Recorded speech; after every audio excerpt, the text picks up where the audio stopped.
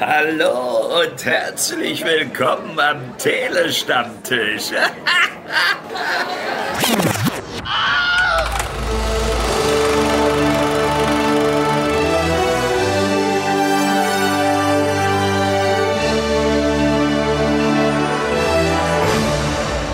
Hallo und herzlich willkommen zum sechsten Recap der Serie The Penguin. Das ist dieses Ding im Internet, wo alle auf HBO Max rumklicken oder bei uns in Deutschland bei Wow und Sky. Und dann können wir da Colin Farrell im Fatsuit angucken, wie er durch Gotham City wabert und einmal die Unterwelt an sich reißt. Wir sind drei Dudes, die nicht in Gotham City wohnen. So viel sei hier mal gespoilt. Ich begrüße herzlich den Maurice und den Heiko. Hallo. Moin Sie. Hallo. Ich bin eins Andi und habe heute die große Freude, mit euch zusammen eben Folge 6 zu besprechen. Die trägt den englischen Titel Gold Summit und ich war tatsächlich ein bisschen überrascht, dass wir die ja dann doch irgendwie vorab bekommen haben. Sogar mit Untertiteln. Ist es krass oder ist es krass? Hm.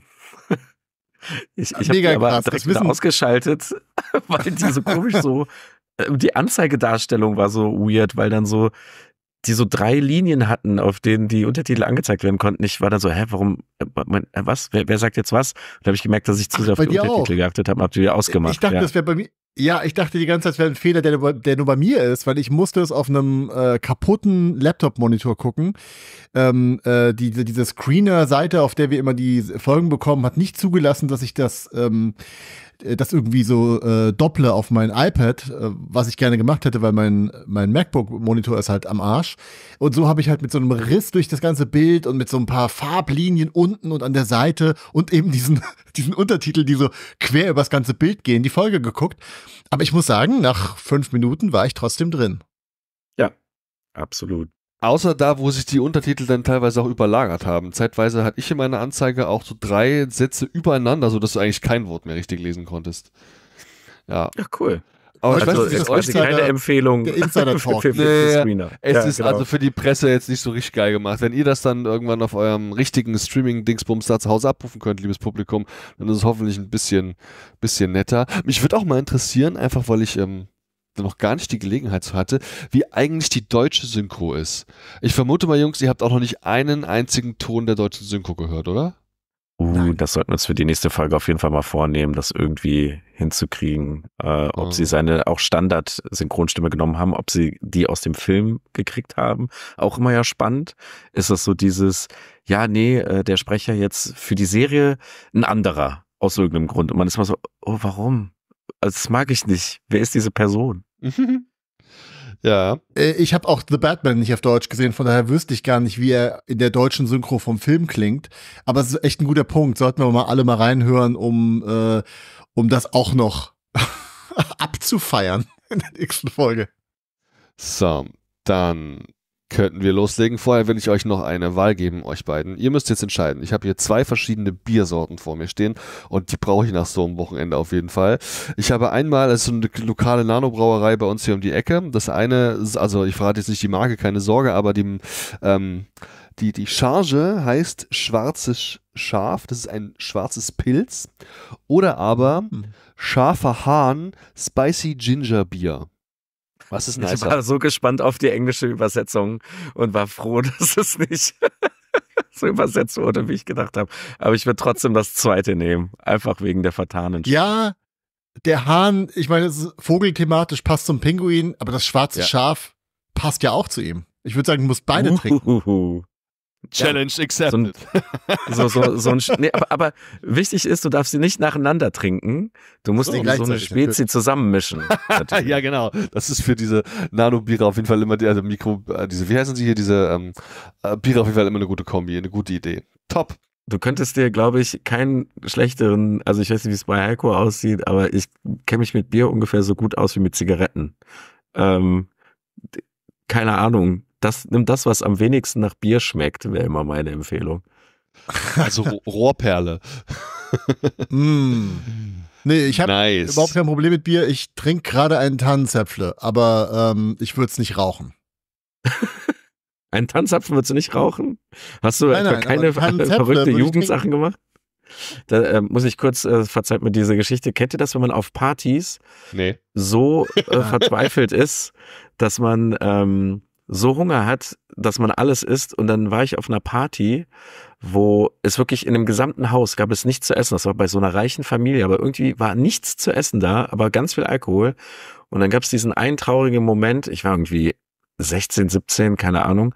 Äh, warum habe ich da überhaupt schon Partys gemacht? Was war mit mir los? Auf jeden Fall habe ich dann mal Leuten probiert, wie, äh, ja, wie, ja, wie es geschmeckt hat, also wie, wie es wohl schmecken würde, Tee zu essen.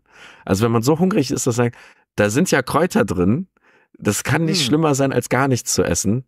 Und ähm, doch, keine Empfehlung. Ja, Leute, ja. das sind die, das sind die Profis, die für euch heute The Penguin Folge 6 besprechen. Wir essen Tee, wir rauchen Tannenzapfen wir sind, wir sind auf jeden Fall überqualifiziert, würde ich sagen.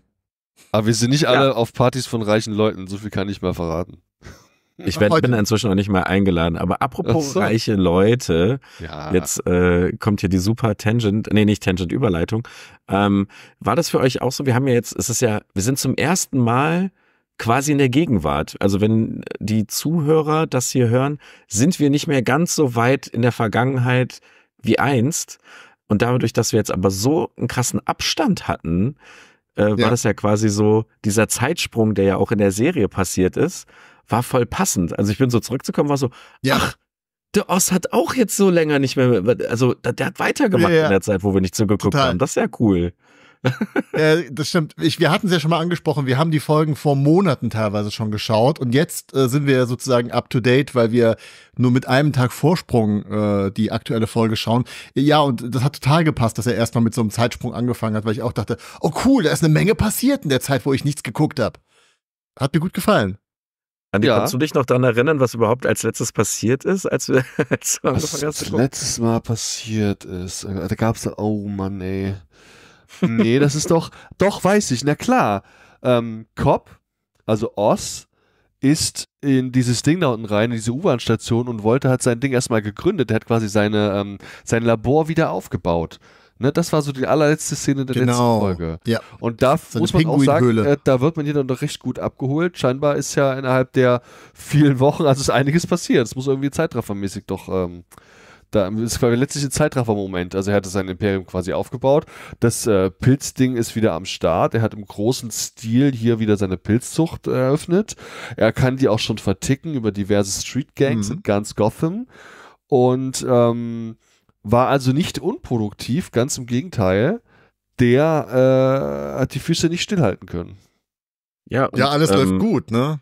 Alles läuft richtig ja, genau, gut. Also ich, also bei, bei ihm läuft es halt mega gut und bei ihm gibt es halt so voll viel Progress und als wir dann zu den anderen Charakteren springen, war so, für die war das aber jetzt irgendwie nur so ein längerer Nachmittag mhm. seit dem letzten Mal, wo man zugeguckt hat. Also es war so, äh, also be bevor wir jetzt irgendwie da in die sehr seltsame äh, Kinkies-Szene äh, irgendwie einsteigen, oh, ich stimmt. war sehr glücklich. Ja über die Establishing Shots, äh, mit der die Folge angefangen hat, weil die sahen aus wie die Arkham-Spiele. Also die hatten halt, das waren mhm. so drei Nachtshots oder so, die man gesehen hat, und die haben halt sich getraut, ich nenne es jetzt mal dieses Gotham-Lighting zu nehmen, was man halt aus den Arkham-Spielen kennt, das so dieser Nebel mit Neon.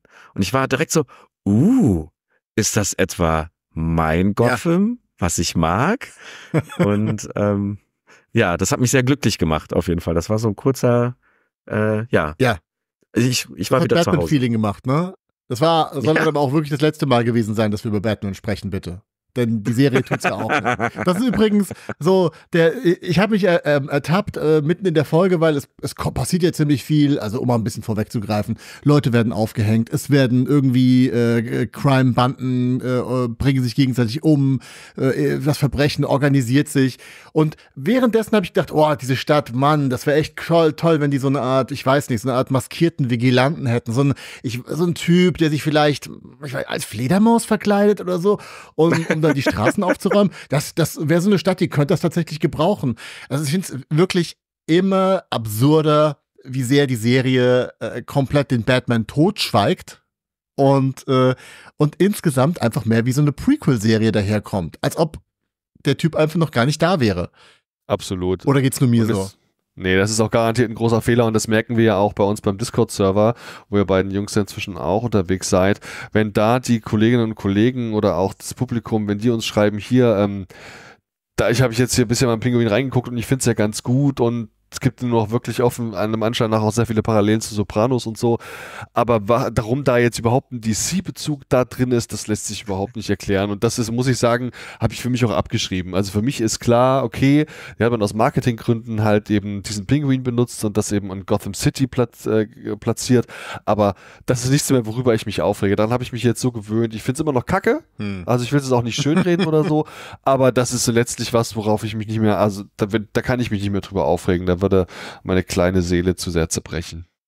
Ich, ich habe halt super viel, ähm, also was ja jetzt irgendwie ganz geil ist, ist ja, wie so unsere Emotionen zu der Serie bis jetzt waren. Und jetzt kann man ja international auf Social Media endlich mal die Reaktion der Menschen äh, hören, lesen und alles mögliche. Und es ist halt total spannend, wie deckungsgleich das dann doch ist. Also dann sind wir ja doch nicht irgendwie so total die super Hardcore-Nerds, sondern ich weiß nicht, wie viele Memes ich gesehen habe, wie man so äh, den ähm, Reeves Batman sieht mit geschlossenen Augen, so von wegen so, what Batman is doing while Penguin series is running und er schläft halt quasi die ganze Zeit nur.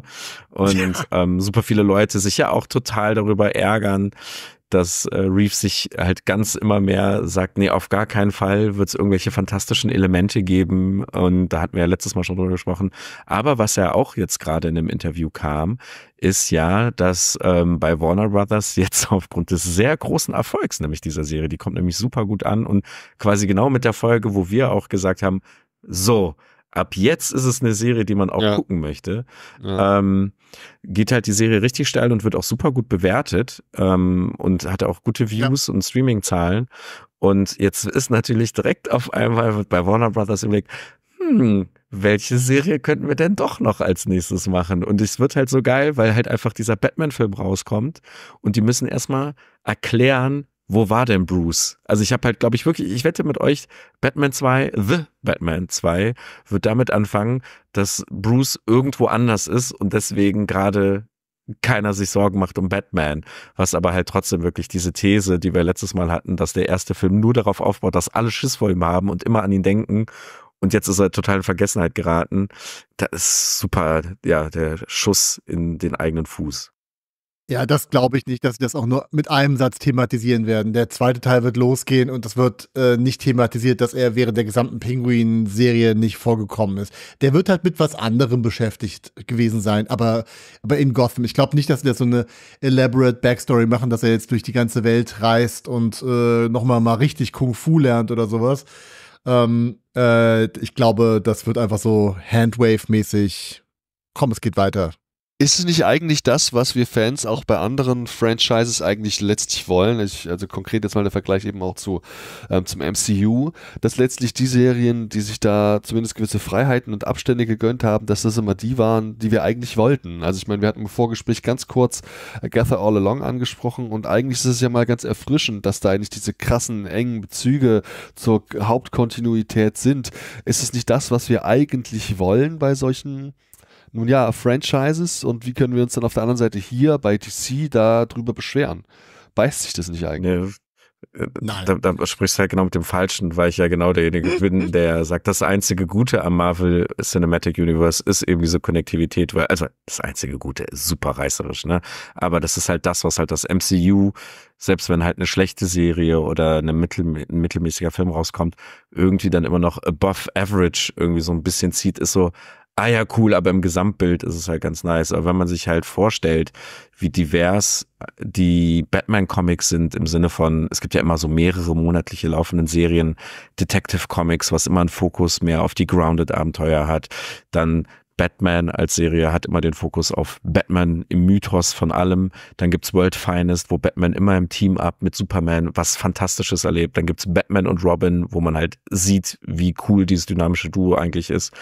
Und es ist dann halt einfach so, wow, okay, das Universum, und da haben wir jetzt nur Batman mit angerissen, dass es dann halt noch einen Horror-Teil des DC-Universums gibt, einen Sci-Fi und was auch immer ich finde, das ist immer das Schrecklichste, wenn man halt einfach, und das macht Reeves ja ganz dolle, so, ja, lass alles wegschneiden, was irgendwie Leute herausfordern könnte. Und dann ähm, könnten wir jetzt als nächstes auch noch über den Joker, den zweiten Joker-Film reden, aber das würde jetzt zu lange dauern. Äh, aber ja, sorry, ähm, ich möchte bitte nicht, dass man sich davon entfernt.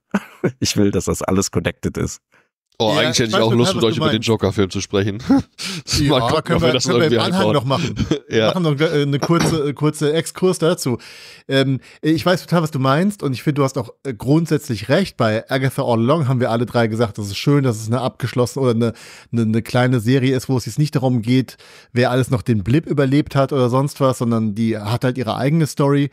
Ähm, in dem Fall muss ich sagen, ich wäre total zufrieden gewesen, wenn sie in ein, zwei Folgen von The Penguin zumindest mal gesagt hätten, hey, wir müssen ein bisschen aufpassen, weil was ist denn mit dem Freak, der da äh, unsere Leute hops nimmt oder äh, oder jemand hat was gehört, wenn, wenn das so ein bisschen auf dieser Gerüchte-Ebene passieren würde, dass er eben weiterhin sein, sein Image als, als der Boogeyman als, als Schreckgespenst aufbaut. Und man muss ihn für, mit dafür auch gar nicht zeigen. Äh, und es muss auch gar nicht um Batman gehen, aber ich fände es schon schön, das, was sie ja in irgendwelchen Interviews behauptet hätten, ja, man, er kommt nicht vor, aber man fühlt seine Präsenz. Das ist halt Mhm. einfach gelogen. Man fühlt seine Präsenz gar nicht. ja, äh, da, ja. Vielleicht Das ist alles, was ich der? will. Er hat ja schwere Depressionen. Oder er ist einfach Ja, der hat einfach- verletzt. Ich meine, der wird am Ende vom. Ich habe den Batman inzwischen ja durch. Äh, nochmal, ich habe ihn dann nochmal komplett zu Ende geguckt und der ist ja dann am Ende wirklich, also der ist ja, der ist ja physisch ganz schön im Arsch. Der wird ja, ich weiß nicht, ob der sogar angeschossen wurde, aber auf jeden Fall muss er mit so einer äh, Adrenalinspritze quasi wiederbelebt werden. Also der ist schon, also wenn der jetzt in Reha einfach ist, wird mir das auch reichen als Erklärung.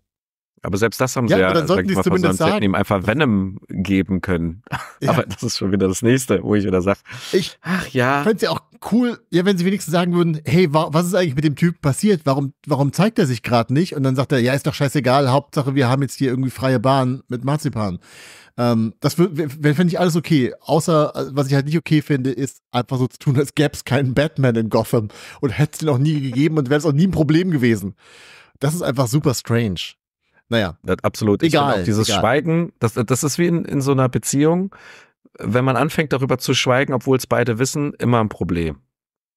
Also in dem Fall Zuschauer und Serie. wahre Aber ja, äh, apropos Serie, dann Da was. springen wir doch, genau, lasst uns doch einfach mal ganz schnell da durchrattern. Also ich steige da in meiner Expertise ein, wenn es irgendwie um äh, Gingerbier geht und zwar, dass dann halt einfach ähm, unsere Gigante ähm, sehr verschwitzt auf einmal in den äh, Shot reinkommt und es läuft irgendwie Swing, aber ich bin so schlecht in Musikgenres. Okay, also wir sind schon gleich bei der Sexy-Szene. Ich merke schon. Sonst hätte ich auf jeden das Fall ist noch die einzige, also so, so, so, so wird sie introduced, nachdem der Pinguin sagt, dass bei ihm das Leben richtig geil ist.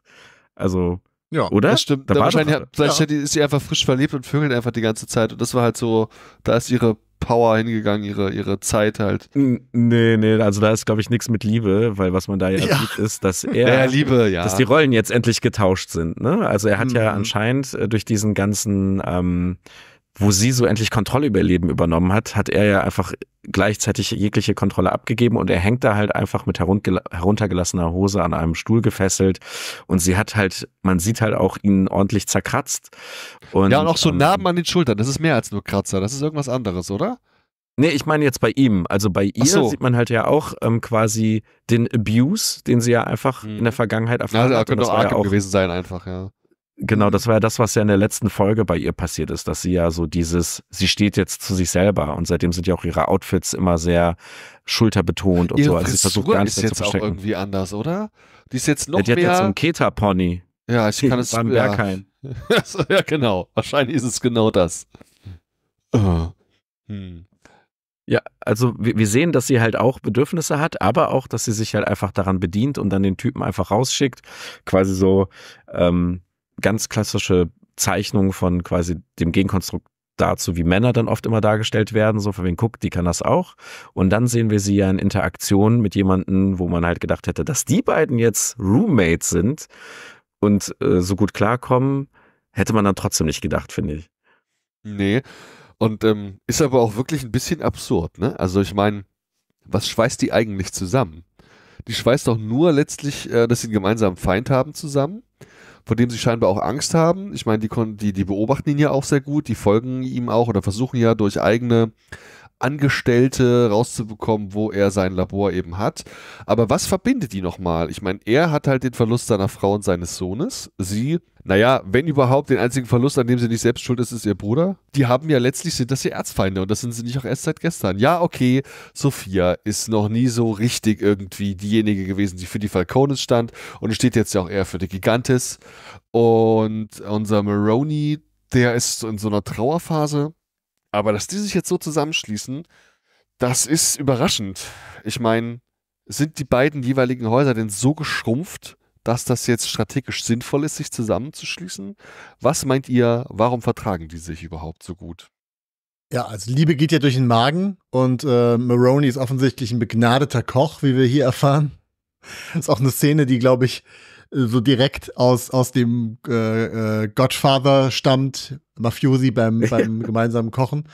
Ähm, ja, und ansonsten das klassische, der Feind meines Feindes ist mein Freund. Ne? Und wir sehen, glaube ich, in der Folge ja generell, dass so eine Art äh, Konsolidierung der kriminellen Kräfte in Gotham beginnt. Also, äh, wenn du nicht mit mir bist, dann bist du mein Feind und alle müssen, es müssen jetzt Lager gebildet werden. Und äh, ja, alle, die noch nicht mit, mit äh, unserem Pinguin arbeiten, müssen halt zusammenhalten. Und das sind momentan erstmal wahrscheinlich nur die Maroney Reste und die neuen Gigante. Gigantes? Gigante, ne? Ja. In so Giants. vielen Wochen, wo der, wo Cobb da unten da dieses Labor aufbauen konnte mit den ganzen Gangs und so ein Pilz, der braucht ja auch ein paar Wochen, bis der wächst. Das muss also schon gewesen sein. Ich meine, wir haben doch allein an dem Tisch in der letzten Folge bei Sophia, wo sie den Headshot verteilt, auch so viele Menschen sitzen sehen, dass ähm, ich glaube nicht, dass sie so klein sind. Ich glaube auch, dass ja, die also, die benutzt haben. Ja, also man weiß ja auf jeden Fall äh, schon mal vorweggenommen zum Ende der Folge hin ja auch, dass die zusammen als Allianz so groß sind, dass die ja eine absolute Bedrohung für jede andere Gang sind. Also dass halt die anderen Gangs quasi nur die Brutkuh ja. untereinander sich streitig machen. Also da scheint noch viel im Gange zu sein. Und ich glaube natürlich, was ja immer so dieses Ding ist, was wir ja nicht verstehen als Nicht-Mafia-Bosse, ist ja, dass die Figuren, die wir da sehen, die dann mal ermordet werden oder mit am Tisch sitzen, das sind ja nur Stellvertreter von wahrscheinlich immer so 20 bis 100 Köpfe von irgendeiner Unit, die irgendwie arbeitet. Und ähm, das ist ja ein richtiges Netzwerk, wo man ja auch mal, also auch da wird's dann wieder irgendwann ein bisschen unübersichtlich und da frage ich mich auch so, jetzt wieder der Vergleich zu Marvel, das ist halt das Doofe, ne? Man redet über die Ziel, man muss mit Marvel vergleichen, ist, es gibt manchmal so Sachen, wo ich mir ein bisschen mehr Erklärung wünschen würde, damit ich die Welt besser greifen kann für mich. Bei Marvel ist die Welt leider immer sehr schnell komplett abgebildet, weil halt jeder Charakter halt sagt, was er denkt und worum es halt geht und was die Stakes sind und wie viele Menschen davon betroffen sind. Also es ist, lässt dir halt gar keinen Raum zum selber nachdenken. Und hier ist es manchmal so, dass ich gerne verstehen wollen würde, wie viel Zeit ist vergangen, mit wie vielen Leuten, also weil man weiß ja auch die ganze Zeit nicht, man checkt nicht, woher kommen denn jetzt die ganzen Leute, die für Oz arbeiten. Er versucht es halt zu erklären, er bezahlt die halt irgendwie. Mhm, das ist ja. so sein Trick damit die loyal sind. Den Trick hat er ja auch von Sophia, weil das hat sie ja auch in der letzten Folge gesagt, ey, hier übrigens ab sofort kriegt ihr alle bessere Bezahlung. So, also die sind sich gar nicht so unähnlich. Äh, anscheinend scheint das das beste Businessmodell zu sein. Sollten sich hier so ein Patrick Lindner und Co. Äh, abgucken. Mhm. Einfach Leute bezahlen, dann ja. folgen die. Crazy. Aber stimmt schon, wo kommt das Geld her? Gerade bei Cobb ist es garantiert nicht geerbt wo kommt das ganze Geld her? Und wenn es Geld gibt, und das scheint ja der Fall zu sein, warum muss seine Mutter dann immer noch in dieser Absteige hausen? Warum kann der nicht irgendwo ein vernünftiges Hotelzimmer besorgen? Ja, ich glaube, das, glaub, das ist Sicherheit. Ne? Das ist einfach, ja, ja, weil, also das ist halt einfach, weil niemand weiß, dass sie überhaupt noch lebt und er will ja auch da, dafür sorgen, dass das niemand weiß. Es ist ja im Endeffekt so sein, seine größte Furcht, dass irgendwie er seine Schwachstelle rausfindet und von daher klar, die hausen da so ein bisschen wie die, wie die äh, ärmlichsten äh, äh, Armen in diesen zerfallenen äh, Häusern in, den, in dieser abgefuckten Gegend. Aber ich glaube, das ist ja auch so ein bisschen die, der Plan. Ne? Solange du noch nicht totale ähm, Schutz hast von den anderen Gangs, also er will, versucht er ja seine Bündnisse zu schmieden, aber bis das eben klappt und er auch so ein bisschen äh, Firepower hat, muss sie, muss er sie da halt verstecken. Und da vermutet sie ja keiner. Erstmal. Hm. Erstmal. Erstmal. Keine Spoiler. keine Über Frage. Ja, Wochen aber, hinweg und so, keine Ahnung, ey. Ich weiß nicht. Ja, weiß genau. Nicht. Also ich, ich glaube, wie, wie bei so Sachen wie mit Batman am Ende ist es sowas, wo wahrscheinlich halt auch wieder gesagt, ey, weißt du was, genieß es einfach. Ähm, apropos ist einfach genießen. Also die beiden genießen dieses selbstgekochte Essen ungefähr drei Gabeln lang. Und dann ist auch Mm. irgendwie wieder alles schmeckt alles scheiße, weil man sich halt an Oswald äh, erinnert, wo ja jetzt auch rausgekommen ist in der Folge. Er heißt Oswald Cobb, nennt sich aber Os Cobb. Das war ja auch immer so bei uns, glaube ich, ein bisschen nie so ganz klar.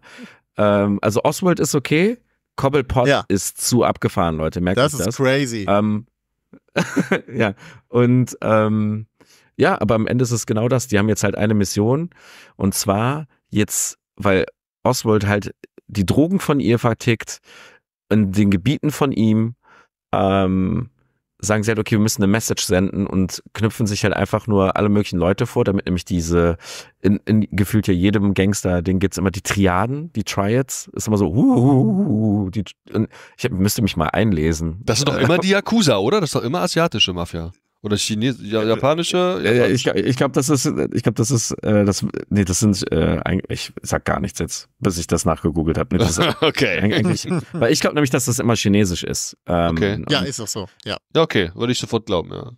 Okay. Und ähm, ich, das ist halt jetzt einfach so, okay, wir senden jetzt eine Message, in denen wir halt einfach allen Leuten, die halt mit dem verkehren, äh, und zwar wir fangen halt bei den Unschuldigsten an, dass denen halt schlecht geht, weil, und gleichzeitig suchen wir noch nach äh, Leuten, die Oswald nahe standen, aber das war ja immer sein Trick und das haben wir eben schon besprochen. Eigentlich gibt's ja niemanden, der ihm nahe steht, außer seiner Mom.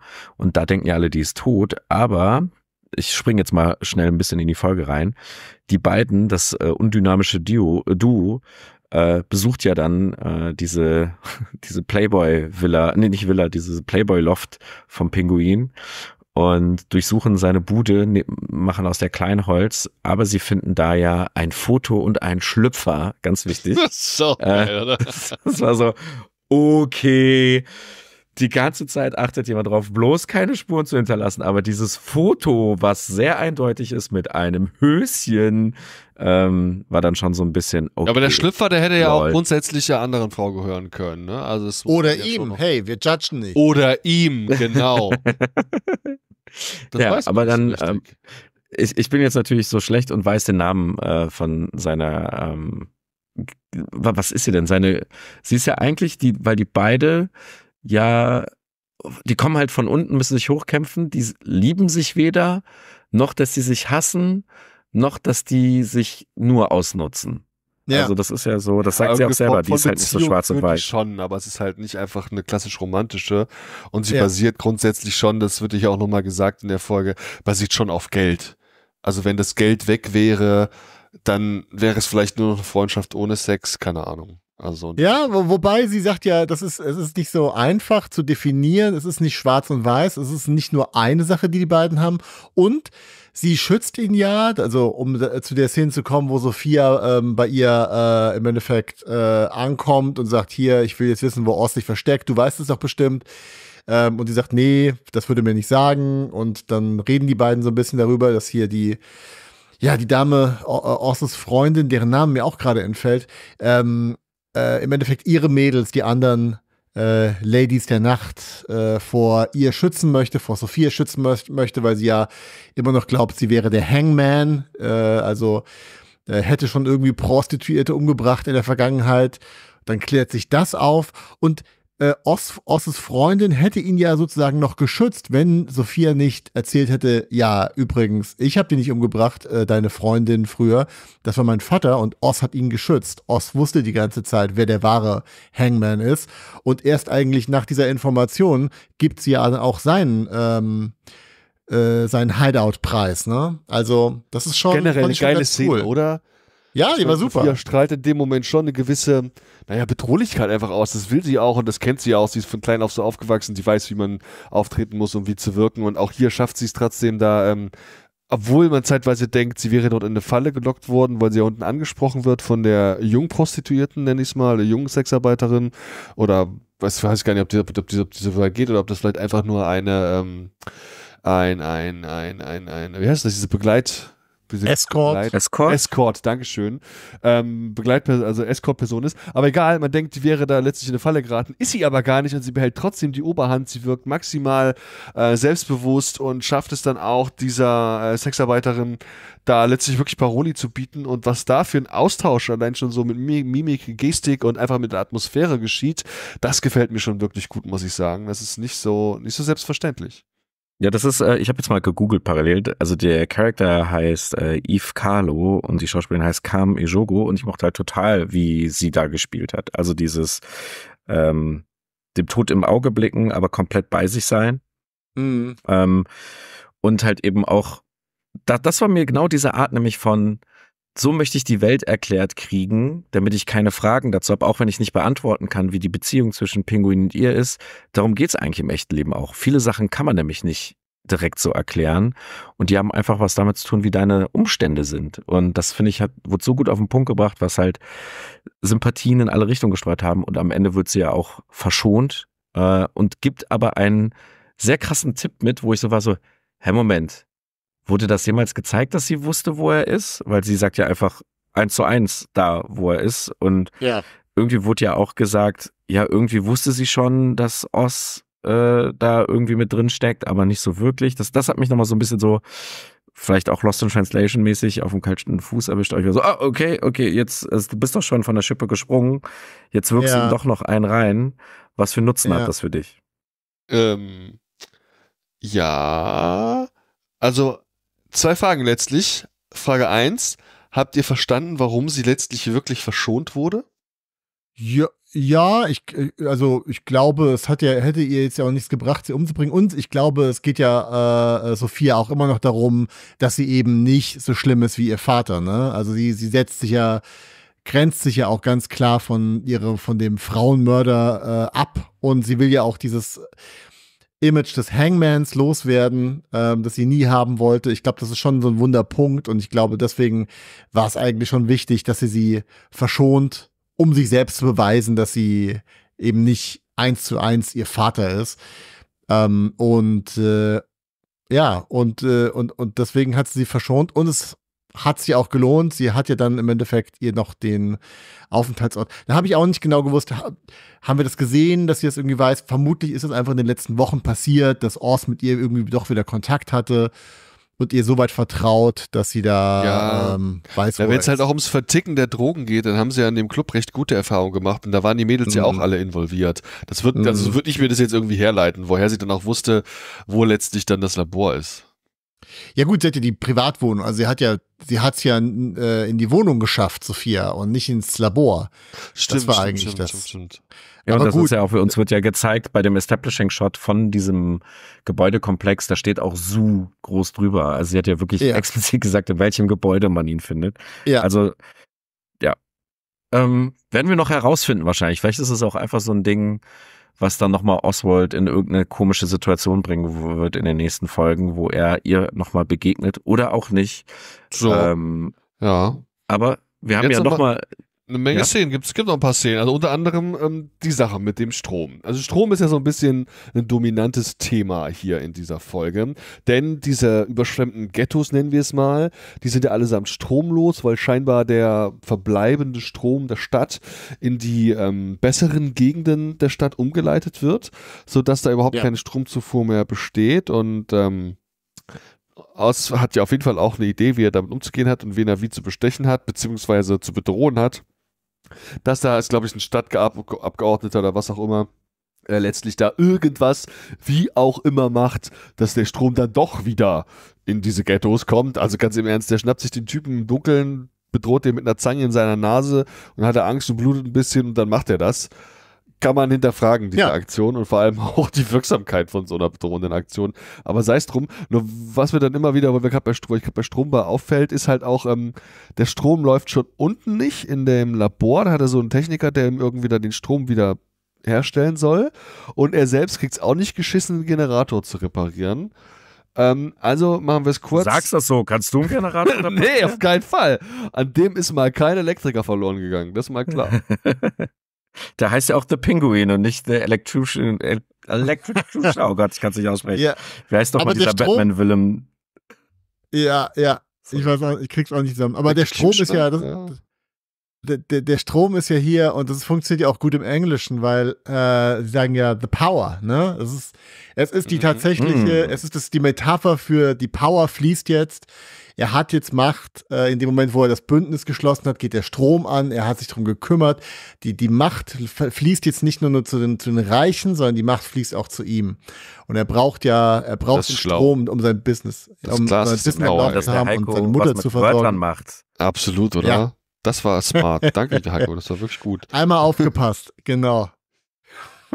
nee, und das war, das, deswegen war es ja so schön, ne? Wir haben hier sein großes, er hat sein, sein Powwow mit den anderen Gangstern und, und schließt da ein Bündnis. In dem Moment wird der Strom wieder, fließt der Strom wieder, die Mutter tanzt, alles scheint gut zu sein. Und dann sind wir ja schon, ich greife jetzt vorweg, wir haben sicherlich noch ein paar andere Sachen, über die wir reden können, aber ähm, ja, dann wird natürlich ja. äh, das Aber nochmal, die sitzen hier, die sitzen hier auch in dieser Hütte, ne? In diesem, in diesem Loch, nennen wir es mal, wo mit seiner ja. Mutter und, und, und auch mit Viktor ist es, genau. Und auch da, also ich liebe ja Rührei.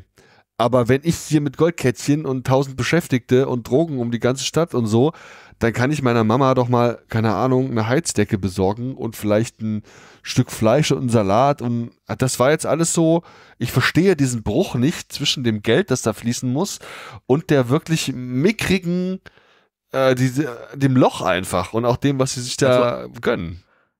Also als guter Geschäftsführer ähm, sparst du in der Regel immer als erstes bei dir selbst. Kann ich aus dem Versuch, ein guter zu sein, bestätigen. Ähm, nee, aber äh, ja, das ist natürlich alles ein bisschen ähm, komisch, aber äh, wo du jetzt gerade Vic erwähnst, ist ja noch die ja. C-Storyline super wichtig. Also, ähm, mhm. weil wir sehen ja so ein bisschen das, wovor man schon so, oh nee, jetzt wurde Vic da gesehen von äh, so einem Typen. Und äh, vielleicht ist er ja auch derjenige, der das, äh, der Eve gesteckt hat, wo Oswald ist. Keine Ahnung, weil er scheint ja ganz schön informiert zu sein, wo Oswald ist. Und äh, er konfrontiert jetzt Vic, also das, wovor wir schon die ganze Zeit Angst hatten, dass der irgendwann in der Wohnung steht, fängt er eher nur Vic auf der Straße ab. Sein alter Kumpel, äh, wir nennen ihn alle Squid. Und, Squid, äh, ja, hey, Squid.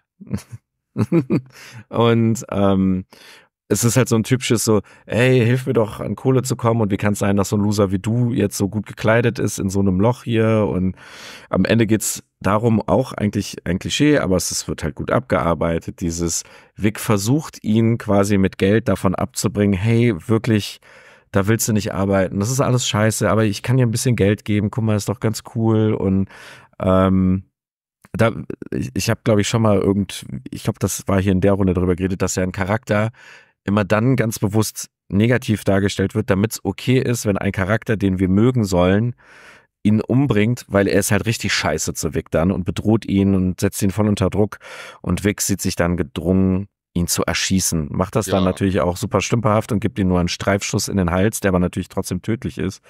Ähm, ich sag mal so, äh, es gibt dann nochmal so einen väterlichen oder brüderlichen Moment. Ich weiß nicht, was für ein Verhältnis das bei den beiden ist.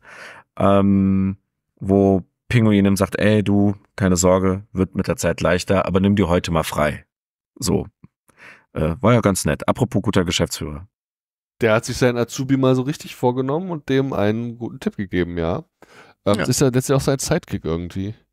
Ich bin ein bisschen überrascht, dass sich Viktor so rhetorisch nichts von Oz abgeguckt hat. Ich meine, so ein bisschen mehr Selbstbewusstsein hätte er im Laufe der letzten Wochen ja schon sammeln können. Es hätte mich nicht überrascht, wenn er halt, keine Ahnung, sich ein bisschen was abgeguckt hätte. Aber bis auf teure Klamotten hat er nicht viel an sich geändert. Er ist immer noch eigentlich derselbe Typ wie zu Anfang der Serie, oder?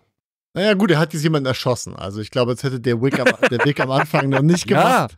Ja, also, bis zu dem Moment. Ich glaube, das war ja schon halb Notwehr auch irgendwie. Ja, halb. Das ist halb. Das, halb. halbe Notwehr.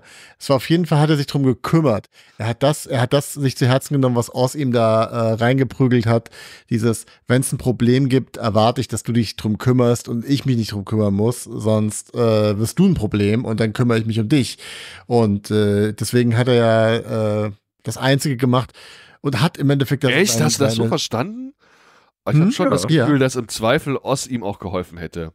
Ja, es war eine blöde Situation in diesem konkreten Moment, aber wenn er wirklich aus Verzweiflung oder also ich weiß nicht mehr oder gib mir mal einen Tipp oder irgendwie so um Hilfe gebeten hätte mit dem Typen, ich glaube, das hätte Oz einfach mal erledigt. Das, wär, das hätte vielleicht nicht unbedingt Ich, ähm, dem Standing gut getan, aber er hätte es getan. ich, ich, ja, hätte er bestimmt gemacht, aber ich glaube, dass, es gab ja schon mal so eine Szene, äh, wo Oz ihm im Endeffekt direkt einen Auf, auf, eine Aufgabe gegeben hat und er hat es nicht hingekriegt. Und dann hat er gesagt, ja, ich habe irgendwie, hat irgendwelche Erklärungen dafür. Und Oz ist da ausgetickt und hat ja angedeutet, dass er ihn auch wieder umbringen könnte.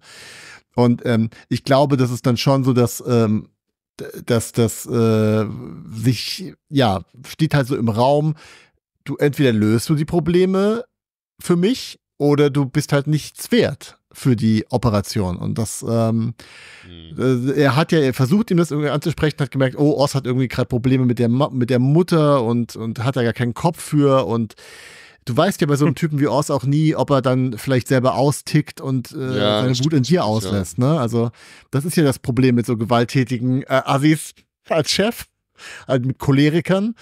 Ähm, äh, du- Auch wieder hier ich, als gutes Beispiel. Sorry. ja. genau, in so einem Startup wie bei Oz oder eben in der Games-Branche, das ist alles äh, sehr, sehr ähnlich. Auch, auch, dass man in einem Keller arbeitet und überall Ja. wachsen Pilze. Es gibt keinen Strom. Äh, zwei Sachen nochmal hier zur Szene, wo die beiden Mafiosi-ChefInnen die äh, Man Cave von Oz durchsuchen. Ähm, zum einen, also Chekhovs Gun ist, glaube ich, dieser Begriff für, die finden was, was später bestimmt nochmal wichtig wird. Denn Sophia Mhm. nimmt hier so einen Zigarrenschneider mit. Also wenn da nicht Mhm, mal ein stimmt, Finger, Ja. wenn da nicht mal ein Finger drin landet in einer der nächsten Ausgaben, dann wäre ich überrascht. Äh, Hoffen wir mal, dass es bei einem Finger bleibt. Ja. War mein erster Gedanke. Ja. Äh, und dann ist ja auch noch, das weiß ich nicht mehr so genau, man sieht im Hintergrund kurz diesen Safe. In diesem Safe hat ähm, Oz auch schon drin gesessen. Und wir sehen dann auch, dass ähm, da waren ja da auch mal diese Bilder drin vom Mhm. Johnny Vitti, der da die Frau vom Falcone irgendwie äh, äh, vernascht hat. Das, äh, was ist eigentlich da rausgekommen aus diesen Bildern? Was ist damit Die passiert? hat er den. Maronis gegeben. Die hatte den Maronis gegeben, damit die irgendwie Leverage haben und die hat er auch nicht mehr zurückbekommen, glaube ich. Und es hat jetzt auch ja auch. Mehrwert Auch gegessen. Das ist vorbei jetzt. Ja. Nee, nee, genau. Ist das vorbei, ist vorbei. ja. Also, Er ist ja tot. Okay. kannst du abhaken. Alle sind tot. Genau, der Typ ist tot. So.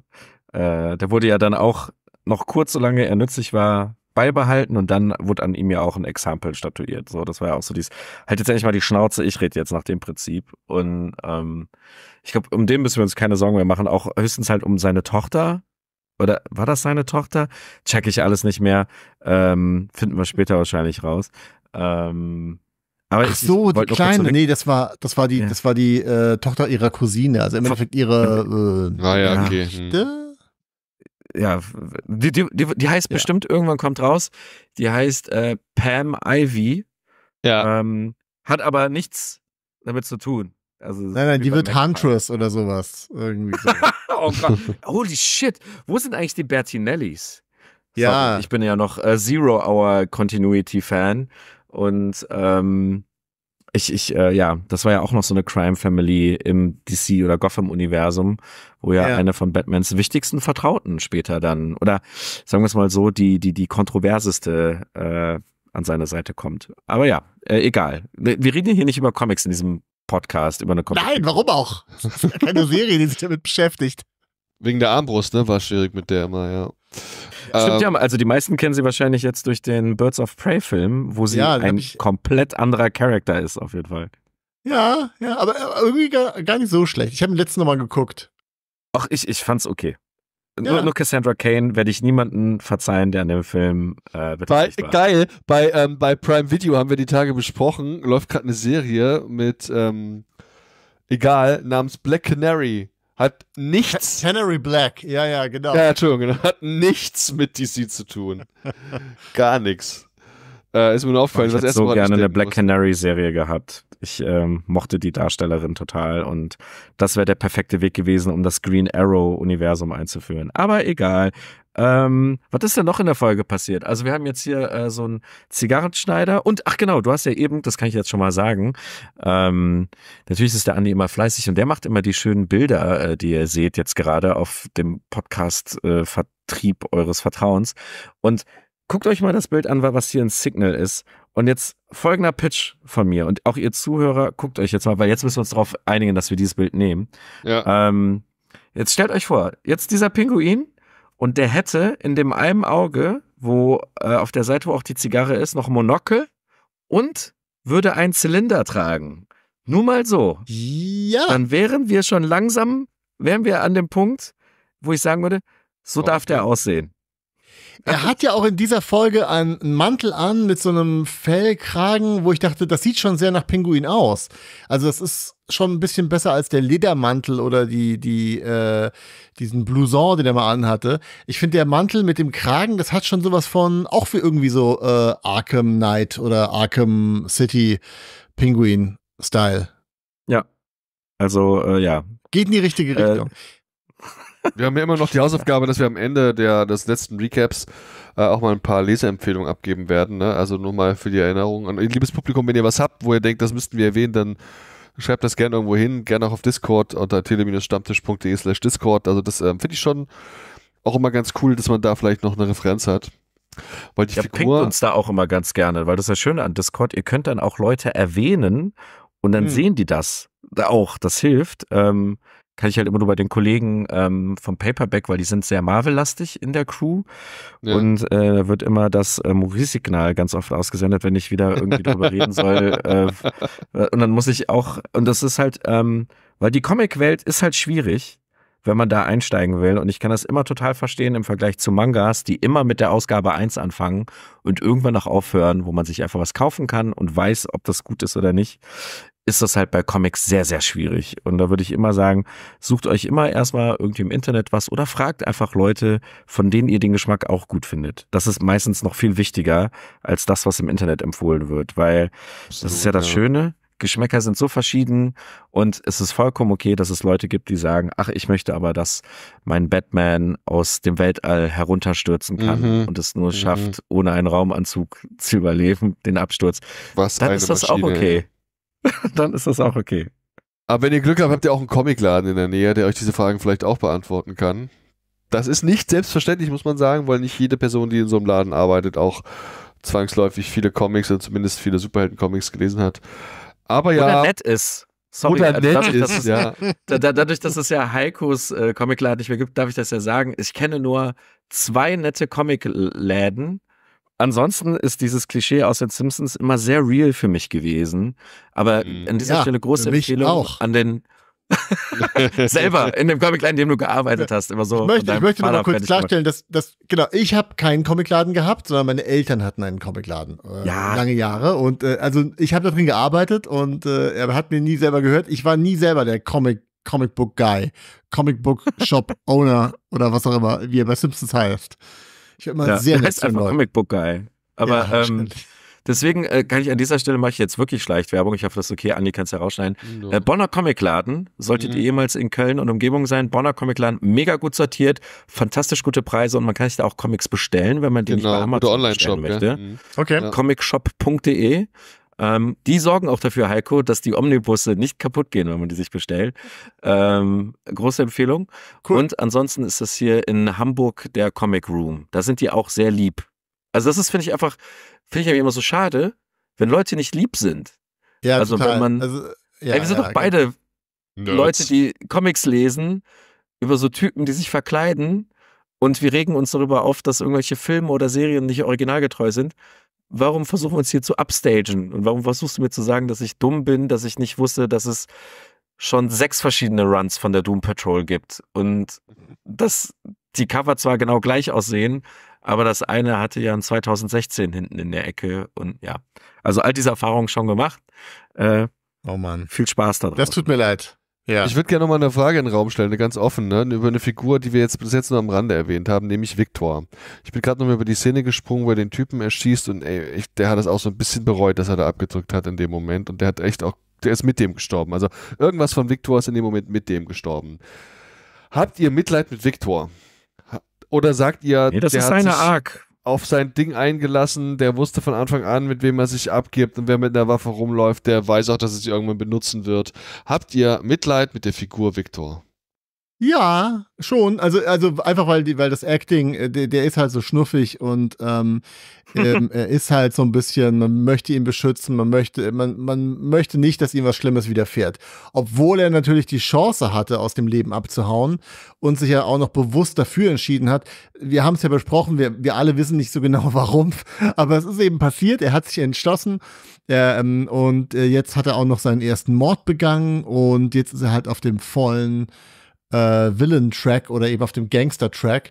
Und ich glaube, ich will nochmal hier eine Prediction abgeben. Ich glaube, Victor überlebt diese Serie nicht. Ich glaube, Genau. Victor wird nicht in, Ich- in The Batman 100% 2. Das wird, Ich glaube halt auch, der wird ein dass er Opfer seiner selbst. Ich glaube halt auch, dass er halt als Spiegel dienen soll, als jemand, der so ein ähnliches Upbringing hat wie Pinguin. Also jemand, der halt, ne, jemanden zum Vorbild kriegt, der halt ein schwieriger Charakter ist, der aber halt auch sieht, was das positiv mit ihm bewältigt und bla. Äh, und meine Prediction ist auch noch, dass er diesen Job übrigens unter anderem deswegen macht, damit er hier seiner Freundin die Uni bezahlen kann. Äh, aber vielleicht ist das auch zu gönnerhaft ihm. Ich Jemand glaub- sich wochenlang ich glaub, am nicht bei Ende- dir gemeldet hat. Ja. Ja, ich glaube, äh, am Ende wird nochmal irgendwie sowas sein, dass sie einen Brief von ihm bekommt in Bloodhaven oder wo auch immer sie jetzt gerade studiert oder Florida. ähm, und äh, aber ich glaube, er wird, er wird auf jeden Fall dran zugrunde gehen an den Entscheidungen oder an den einfach am, am, am Pinguin, am Rise des Pinguins wird er nicht mitverdienen.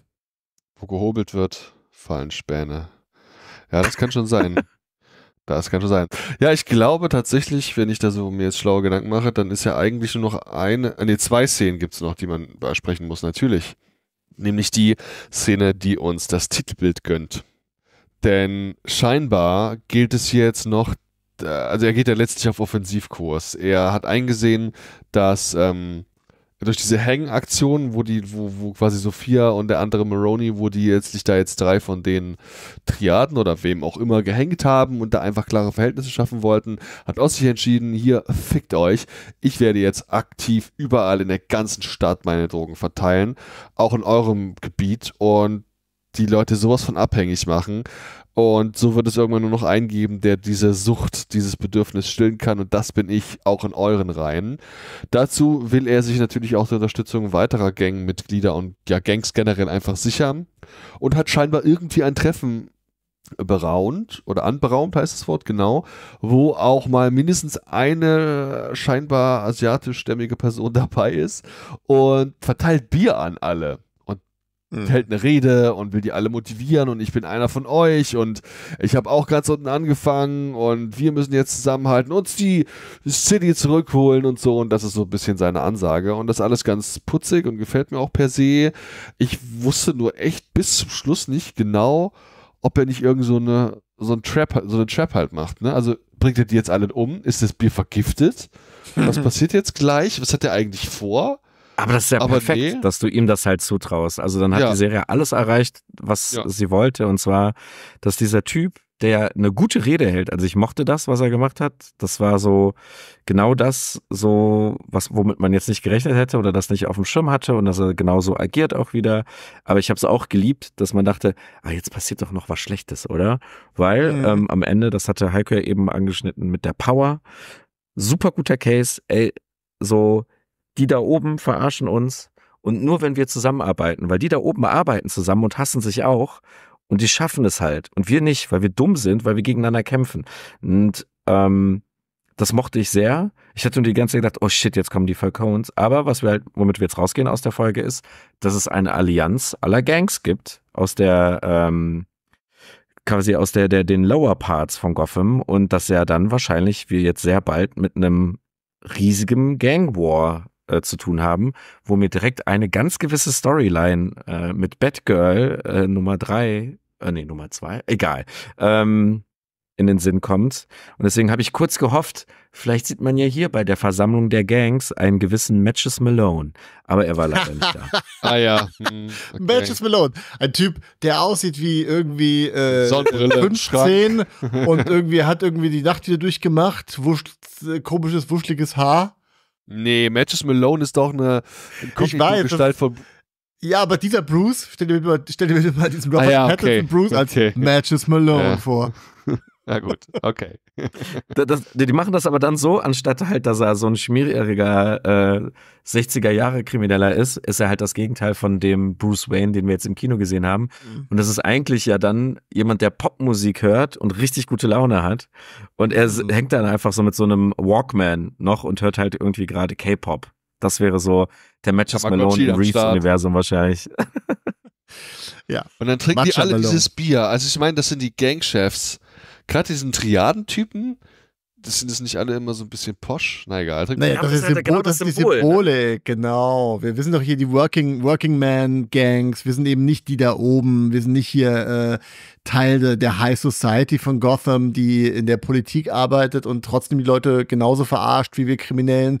Wir sind halt irgendwie hier der Abschaum und deswegen als, als Working Mans, äh, er sagt ja sogar hier, die kennen nicht mal eure Namen, eure Familien haben die Stadt groß gemacht, aber niemand kennt euren Namen wir sind halt wirklich und deswegen müssen wir hier unser Arbeiterbier zischen. Finde ich gut. Ich habe mein zweites übrigens gerade geleert. Insofern, ne, wisst ihr Bescheid, Jungs. Wir ändern, äh, äh, wenden uns dem Ende unseres Recaps zu und sind damit tatsächlich auch bei der finalen Szene. Denn plötzlich fließt der Strom wieder im Loch des Hauses Koppelpotz. Äh, kann man jetzt Musik hören, außer äh, Retorte, außer, außer, außer, was, außer Büchse, Dose, aus der Dose, keine Ahnung.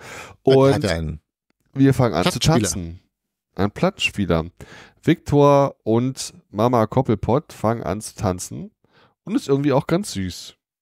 Dann hören wir irgendwie so ein Geräusch. Es kommt scheinbar von draußen, vom Flur, was auch immer. Also es fiel mir richtig auf, aber Victor ignoriert es scheinbar, weil es könnte ja alles sein. Aber wir als zuschauende Personen sehen recht fix, okay, hier, da, ähm, Sophia ist am Start. Und die hat eine Crowbar dabei, also eine, eine was ist eine Crowbar auf Deutsch? Eine, ähm, Eine Brechstange. Brechstange. Brechstange. Und ja, Auch so- gefährlich große Symbolik im Batman-Universum mit einer Ja. Brechstange irgendwo reinzukommen. Dann sind direkt alle so, uh, hallo, Wer ist, mein alter wer ist hier der Robin in der Szene? Das ist die Frage. Und wir wissen alle, dass Vic der Robin der Szene, in der Szene ist. Ja, und das ist ja deswegen so spannend. Ja, okay, Sophia steht da. Sophia hat rausbekommen, dass die Mama und Vic am Start sind und dass da jetzt wahrscheinlich irgendwas passieren muss. Und sie wäre ja auch, weil, ähm, ich mich auch gefragt, okay, warum sollte sie jetzt die Mutter töten? Natürlich sollte sie das tun, weil ähm, Oz ja auch ihren Bruder getötet hat. Insofern wären die dann mehr oder weniger quitt. Aber das Spannende ist ja noch die Information, dass, ähm, ich nenne jetzt die ganze Zeit Mama Koppelpot, dass die ja ähm, in einer Szene vorab schon ihre eigene Demenz realisiert hat und dann ihren Sohn darum gebeten hat, dass wenn sie zu sehr wegdriftet, wenn sie zu sehr nicht mehr sie selbst ist, dass er dann ein Ende setzt. Und das ist ja letztlich eine Art Freifahrtsschein. Das heißt also, wenn es jetzt, und davon gehe ich aus, in der nächsten Szene, in der nächsten Szene, in der nächsten Folge eine Situation gibt, ähm, wo Sophia ihm droht, hier, ich bringe sie sonst um, oder andersrum, äh, sie vielleicht sogar schon umgebracht worden ist oder so, dass er da ganz anders mit umgehen kann, eben weil das ja letztlich auch im Interesse der eigenen Mutter war.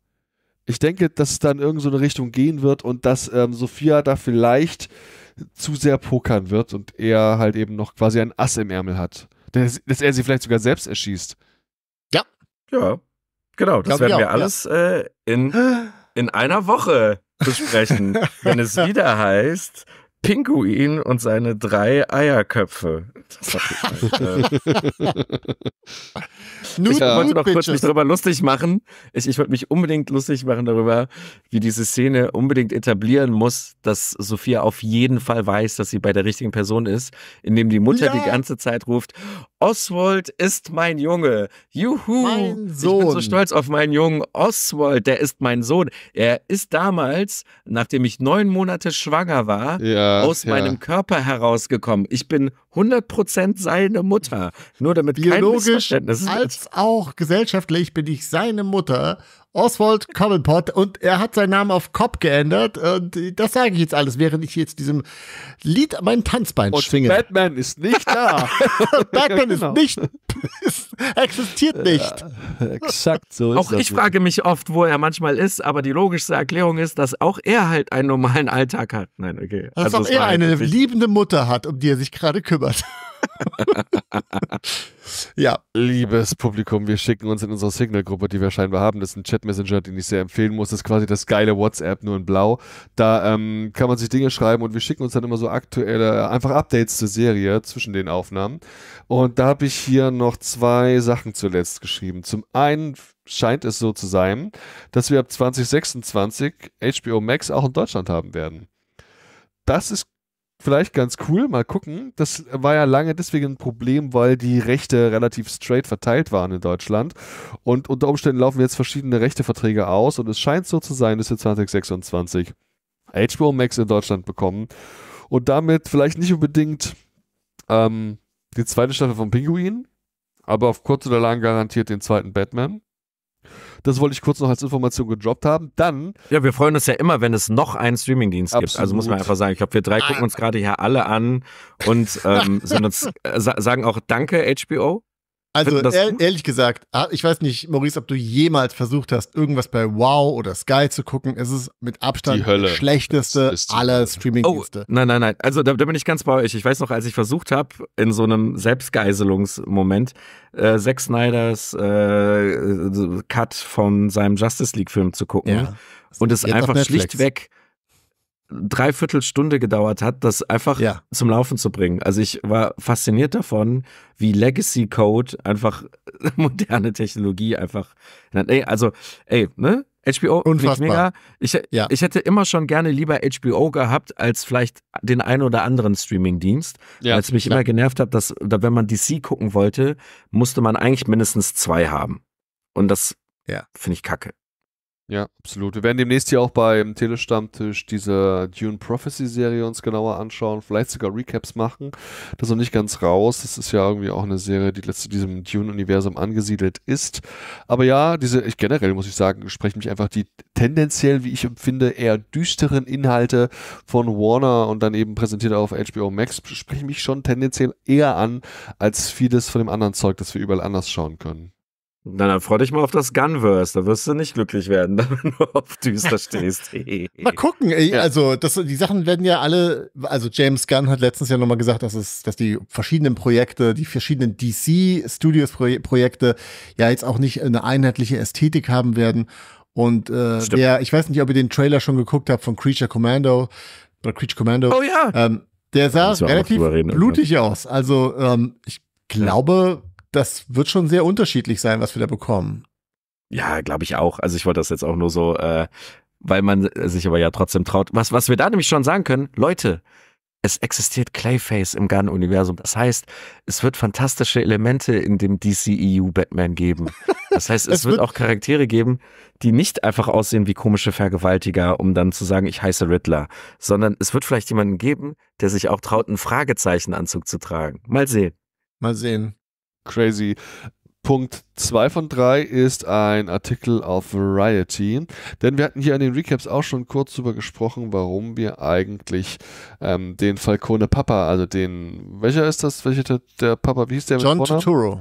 John, nee, nee, nee, nee, nee, nicht den Schauspieler, sondern die Carmine. Figur. Carmine Falcone. Falcone. Warum der eigentlich ausgetauscht wurde und zumindest in diesem Artikel auf Variety sagt er, dass ähm, das Thema Gewalt gegen Frauen ihn hier so abgeschreckt hat. Letztlich wäre die Gewalt gegen Frauen durch seine Figur im Film The Batman nie wirklich gezeigt, sondern immer nur beschrieben und angedeutet worden. Ja, das stimmt. Und Ist viel besser. Das das, wäre halt nicht. dann nicht so sonderlich explizit gewesen. Und in der Serie wäre das dann deutlich eher der Fall, zumindest wahrscheinlich, keine Ahnung, im Rahmen des Skripts oder Konzepts, weil in der Serie selber ist es in der Form ja auch so eigentlich, also dass man ihn jetzt an dem Hals sieht oder so, eigentlich auch nicht gezeigt worden. Egal, also das wäre die Begründung, Sophia warum ne? er das nicht macht. Ja, genau, seine, ne? Aber ähm, im Endeffekt muss man sagen, also unter Umständen haben die ihm einfach auch nicht genug geboten. Ne? Also der hat wohl scheinbar auch andere, andere Dinge, die er machen kann und unter Umständen war das einfach finanziell nicht attraktiv genug für ihn. So könnte man es auch Transformers. Trans, na, das war vorher. Ja, äh, ich kann mir einfach vorstellen, dass er das gelesen hat und dachte, boah, das sind so kleine äh, Parts da drin, irgendwelchen Flashbacks, finde ich jetzt nicht so spannend.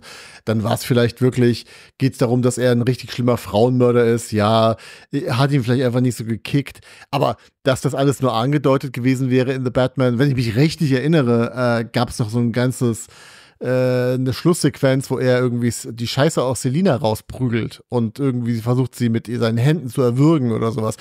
Ich habe ihn schon länger nicht mehr gesehen. Schießt auf sie? Zu, ja, Er, er schießt das, er wirkt sie, glaube ich, auch. naja. Also, der war Ich schon. lieb's. Ich, ich find's geil. Das macht's einfach so lächerlich. Hätte einfach sagen sollen, ich hätte keinen Bock. ja, ich liebe eigentlich Bock, schon, oder? ja. Und so. Eigentlich Ja, schon. ihr wollt mich fragen, Ich ob ich der einfach scheiße, Pinguin Leute, weil der Ja, Ja, er hätte, hätte einfach sagen müssen, ich fand's scheiße, weil Batman nicht vorkommt. Dann hätte er genau, so Batman? gepunktet. Ja. ja. Ach ja. Hätte auch. Ja. Ähm, und letzter Punkt einfach, weil wir es zum Anfang schon angeteased hatten und ich meine, die letzten fünf Minuten, die gönne ich uns noch und es wird nur fünf Minuten geben, weil wir alle relativ müde sind, glaube ich. Hm. Lass doch noch mal ganz kurz über Joker 2 sprechen. Ich mach's auch kurz mit wenig.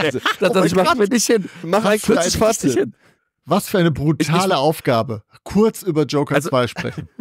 Ja, es gibt schon eine lange Also, Besprechung beim Telestammtisch. Wir müssen das nicht mehr episch. Ja, aber nicht von uns. Nicht von Ja, uns. ja, ich wollte gerade sagen, aber nicht von uns. Also nicht, dass ich jetzt sagen würde, dass ihr nicht sofort jetzt äh, nachgucken solltet äh, beim Tele-Stammtisch in der Playlist, dass ihr das sofort nachholt. Aber sagen wir es mal so, äh, ich, ich sag jetzt einfach nur einen Satz und dann ist es ja, reicht ja auch schon. Ich finde, sämtlichen Hass gegenüber diesem Film ist absolut lächerlich und zeugt davon, dass wir ein Problem mit Media Literacy haben, sowohl im Review-Bereich als auch im kommerziellen Bereich. Ja, das, da stimme ich dir zu. Ähm, und ich möchte noch ergänzen, ähm, ich war überrascht, wie lange ich noch an Folie à deux gedacht habe. Ähm, Im positiven wie auch im negativen Sinne. Und das kann man jetzt zum Beispiel von einem Film wie Beetlejuice 2 nicht behaupten, der mich direkt wie, wie, wie der Durchfall nach einem, äh, nach so einem, nach so einem leckeren Popcorn-Abendessen, wo man sich irgendwie so, weiß nicht, Cola und Popcorn und, und Snickers reingehauen hat. Nacho-Käseplatte. Äh, Nacho-Käseplatte, direkt irgendwie hat man es bereut in der Nacht und es verlässt dich sofort. Und das kann ich von Poliadö nicht behaupten. Das ist ein Film, von dem ich denke, ich verstehe nicht, warum er gemacht wurde. Ähm, ich verstehe nicht, wer das, wer das gegreenlightet hat. Ähm, aber ich bin auch ein bisschen froh, dass einfach auch so ein bisschen sowas produziert wird. Ja. Und ich glaube, Mal das ist wirklich am Ende von, von, von Penguin, irgendwie, wenn wir die letzte Folge gemacht haben, weil ich glaube, es wird eh keine Season 2 mehr geben, lasst uns doch mal noch mal eine Folge über generelle Bat Batman Media, die aktuell noch existiert und dann hauen wir alles raus. Oh ja, da sammeln Oh wir mal, da sammeln wir mal, da gibt's viele Dinge zu erzählen. Das finde ich voll gut. Sechs Stunden Special. Ja. Wo, wenn nicht beim Telestammtisch? Ähm, ja, geil. Also ich fand sie tatsächlich nämlich auch ganz gut, aber ich bin auch total simpel und ich mag Musik und ich persönlich höre den beiden auch gern beim Singen zu und das allein hat mir völlig ausgereicht. Ähm, geil. Damit haben wir es gepackt. Wir haben Folge 6 vom Pinguin gerecapt und hatten dabei, ich rede für mich und beiden Bier in meinem Kopf, aber ich hatte echt eine Menge Spaß. Und ähm, ich hoffe, dass euch das ähnlich ging, lieber Maurice, lieber Heiko. Na klar. Und Immer. Äh, mal schauen, wann wir Folge 7 bekommen werden. Es scheint so zu sein, wie das bei House of the Dragon auch schon der Fall war. Also immer so drei, vier, fünf Tage vor Ausstrahlung. Und dann, wie das so ist, liebes Publikum, muss man sich eben noch abstimmen. Es gibt ein echtes Leben und so. Man kann nicht immer aufnehmen. Aber jetzt hat's geklappt und wenn ich jetzt die Moderation zu einem Ende bringe und euch darauf hinweise, dass ihr auf tele-stammtisch.de slash Discord dem Dings hier joinen könnt, also unser Community Hub, dann sind wir fertig und ich kann den Spaß noch schneiden und veröffentlichen. Ja, und ihr habt schon an meiner äh, Notification gerade gehört, ich muss jetzt aufhören. es tut mir leid. äh, ich muss wünsche in ein euch Meeting. allen einen schönen Abend. Ja, genau. Jetzt muss ich wieder äh, jemanden anschreien gehen. Es war mir wie immer ein Fest. Andi, danke schön fürs Möglichmachen. Heiko, danke für die Einschätzung und äh, fühlt euch alle äh, auf die Stirn geküsst und euch mit einer ähm, von, wie heißt der, Maroni gekochten Nudelspeise äh, Mm. Speise verwöhnt von mir. Geht mit dem Danken, Köstlich. Gedanken aus dem Podcast. Ja. Auf Wiedersehen. Zu Hause Vielen auch. lieben Dank. Ciao. Tschüss. Bye, bye. Sehr geehrte Damen und Herren, wertes Publikum, liebe Hörende, vielen Dank für eure Aufmerksamkeit und Zeit. Ich hoffe sehr, euch hat gefallen, was ihr gerade gehört habt. Wir, die Redaktion des Telestammtisch, betreiben ein semi-professionelles Podcast-Projekt zum Selbstmitmachen. Also meldet euch bei uns, wir beißen auf. Außerdem freuen wir uns immer über Feedback via Social Media und E-Mail sowie euren finanziellen Support. Ebenso frohlocken wir förmlich über Bewertungen auf den gängigen Podcast-Plattformen. Wer möchte, darf uns gern immer und überall empfehlen. Alle relevanten Links findet ihr in den Show Notes. Vielen Dank und bis zum nächsten Mal. Euer Andi.